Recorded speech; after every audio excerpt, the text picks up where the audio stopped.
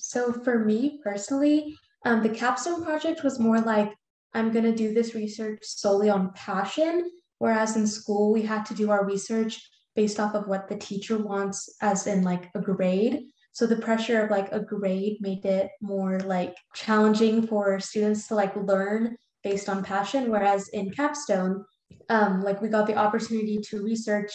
uh, based on a passion where uh, usually in school nowadays we don't have time to research um, without having a grade attached to it.